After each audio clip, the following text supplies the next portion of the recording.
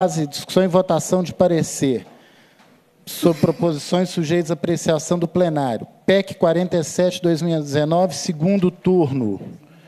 Designo relator, deputado Cássio Soares. Pergunto ao deputado se está em condição de ler o, o parecer. Em condições, senhor presidente. Com a palavra, deputado Cássio Soares. Senhor presidente, parecer para o segundo turno da proposta de emenda à Constituição número 47, 2019, de autoria de um terço dos membros da Assembleia Legislativa do Estado de Minas Gerais, tendo como primeiro signatário o deputado Sargento Rodrigues, proposta de emenda à Constituição número 47, 2019, que acrescenta o parágrafo 12º ao artigo 24 e o artigo 59, a linha A, à Constituição do Estado. É, nós já tivemos a oportunidade de emitir o parecer em primeiro turno, tendo aprovado, e dessa, dessa mesma forma, é, senhor presidente, nobres colegas, em face do exposto, somos pela aprovação do segundo turno da proposta de emenda à Constituição, número 47, 2019, na forma do vencido em primeiro turno.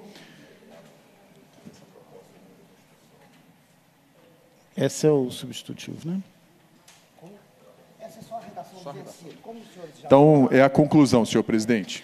Em votação, senhores deputados que aprovam permaneçam como se encontram.